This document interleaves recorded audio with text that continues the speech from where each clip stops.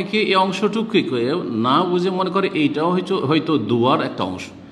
সুতরাং লিখে আজকাল সোশ্যাল মিডিয়া অথবা বলে ফালতাসবের ওয়াল তাহাতাসে হ্যাঁ কাউকে যখন আপনি এই এই উপদেশটা বা এই শোক বার্তা পাঠাচ্ছেন আপনি, তখন বলবেন, আর ওকে সম্বোধন করছেন? তখন বলবেন ফালতাসবের ওয়াল তাহতাসবে, ফাল, ফাসবেরু ওয়াহতাসেবু। এভাবে বলতে পারেন। কিন্তু আপনার ওপর ধরেন বিপদ এসছে, আমার ওপর এই রকমের বিপদ এসছে, আমার শোকের মুহূর্তে আমি কি বলব ফাল তাসবের ওয়াল তাহাতাসেব? না কি বলব? ফাল নাসবের ওয়াল নাহাতাসেব। সুতরাং আমাদেরকে ধৈর্য ধারণ করা উচিত, আমাদেরকে ধৈর্য ধরা, ধারণ করতে হবে, সবুর করতে হবে, ওয়াল নাহাতাসেব এবং আমাদেরকে কি করতে হবে? নেকির আশা রাখতে হবে সবাবের আশা রাখতে হবে রব্বুল্লা আলম কাছে বালা মুসিবতের স্বভাব রয়েছে বিষয়বস্তু হচ্ছে আমুল হুজন, শোকের বছর। রসুল্লাহ সাল্লামের জীবনে সিরাতুন্নবীতে একটি চ্যাপ্টার হচ্ছে আমুল হুজন, নবী সাল্লামের শোকের বছর। তো আজকে এই বিষয় নিয়ে আলোচনা করব। আপনারা জানেন যে গত আটই সওয়াল বৃহস্পতিবার, অর্থাৎ গতকালকে যে বৃহস্পতিবার, তার আগের বৃহস্পতিবার, আটই সওয়াল চোদ্দোশো বিয়াল্লিশ হিজড়ি মোতাবেক বিশ মে দুই হাজার একুশ আমার সবচাইতে কাছের মানুষ, সবচাইতে প্রিয় মানুষ এই দুনিয়াতে এবং সবচাইতে শ্রদ্ধার পাত্র মানুষ আম্মাজান ইন্তেকাল করেছেন। দুনিয়া থেকে বিদায় নিয়েছেন। ইন্না লিল্লাহ ওয়া ইন্না ইলাইহি রাজিউন। শুনেছেন আপনারা, আশা করি।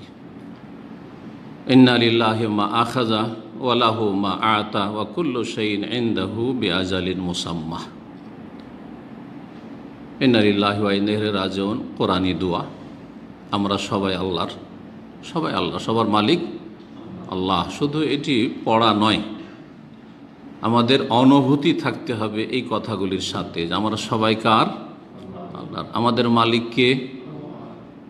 ওয়া ইন্না এলেহ রাজন সুতরাং আমাদেরকে তার কাছে ফিরে যেতে হবে, মালিকের কাছে ফিরে যেতে হবে। আমাদের টাকা পয়সা যদি কারও কাছে ছড়িয়ে ছিটিয়ে ধার বা আমানত বা ব্যাংকে জমা রাখছেন ডিপোজিট বা আমানত, তো এই এসবের মালিক কিন্তু আমরা। তো এটা কার কাছে ফিরে যাবে? যে মালিক তার কাছে ফিরে যাবে। তো আমাদের যান আমাদের ধন সম্পদ, আমাদের পরিবার, স্ত্রী, ছেলে, মেয়ে, আমাদের বাবা মা, আমাদের প্রিয়জন, আমাদের আপনজন, আমাদের যা নিয়ামত রয়েছে, সুস্থতা, চাকরি বাকরি, কাজকর্ম ইত্যাদি, শারীরিক, মানসিক ক্ষমতা, আমাদের কাছে যে এলম রয়েছে, সবগুলি কার? আল্লাহর। সব কিছুর মালিক আল্লাহ। সুতরাং এক সময় এই সমস্ত নিয়ামতগুলি, বাবা মা, ছেলে মেয়ে, স্ত্রী, আপনি, আমার জান, মাল সব কিছু কার কাছে ফিরে যাবে? ওয়াইনাই এলেইহে রাজেউন, আল্লাহর কাছে ফিরে যাবে। এই অনুভূতি নিয়ে এই দোয়াটি পাঠ করতে হবে। বালা মুসিবতের সময় বিপদ আপদের সময়, যখন আপনি কষ্ট পাবেন কোনো কিছুতে। তারপরে সন্নতি দোয়া রসুল্লাহ সাল্লামের হাদিস ইন্নালিল্লাহ মা আখাজা যা আল্লাহ নিয়েছেন তা আল্লাহর। ওই একই কথাই। আল্লাহ যা নিয়েছেন তা কার? লিল্লাহ আল্লাহ ওয়ালাহ মা আতার যা কিছু এখনও দিয়ে রেখেছেন অথবা এর আগে দিয়েছেন অথবা দেবেন, তা কার? ওয়ালাহ তাঁরই তাও তার।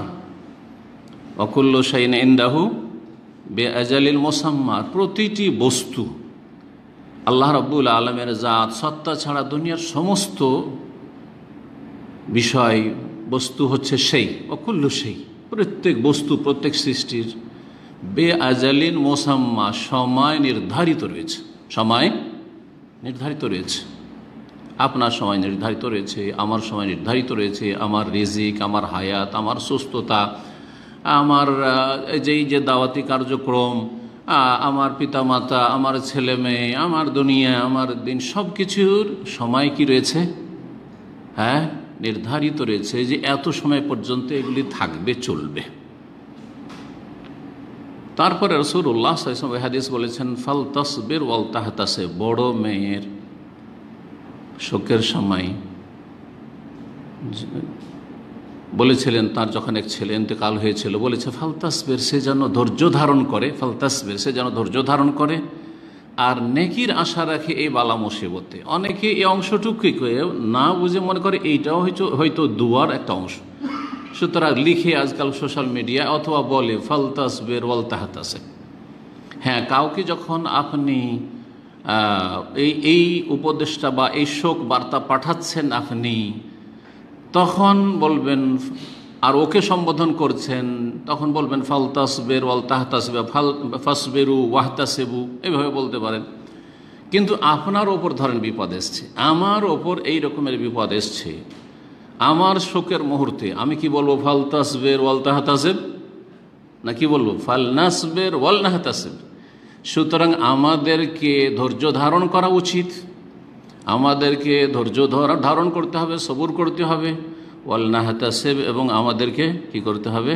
নেকির আশা রাখতে হবে সবাবের আশা রাখতে হবে রব্বুল আলম কাছে। বালা মুসিবতে সবাব রয়েছে সবাব মহাপুরস্কার রয়েছে। এমনি জাজাই তহমলে মা সবারু।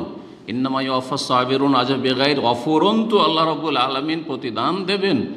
মহাপুরস্কার নেকির আকারে পাবেন, গুনহার কাফার আকারে পাবেন, মর্যাদার উন্নীত হওয়ার আকারে পাবেন।